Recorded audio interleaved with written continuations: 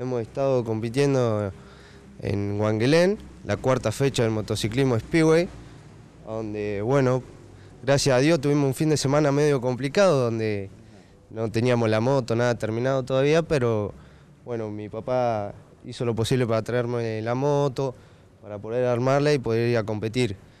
Eh, así seguimos en punta, ya que vamos primero en el campeonato, para no cortar la racha, bueno, nos quedamos trabajando hasta tarde, haciendo todo lo posible para ir. Y bueno, los chicos, mis compañeros, Federico Simón, Facundo Oliva, eh, no me acuerdo de todos. Son los que trabajan en, en, la moto, ¿no es cierto? ¿En qué categoría estás? Estamos en el 50 centímetros cúbicos limitado bonaerense. ¿Cuánto tiempo hace que corres en la categoría esta? Hace siete años ya. Siete años, sí. ¿Y siempre en el 50? Sí, siempre en el 50. ¿Por qué?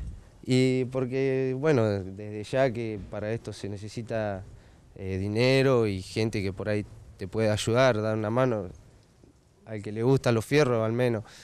Y nada, como no podemos avanzar, eh, nos seguimos manteniendo en ritmo con la chiquitita todavía. Bueno, pero seguramente próximamente se, estará viendo la, la otra categoría, ¿no?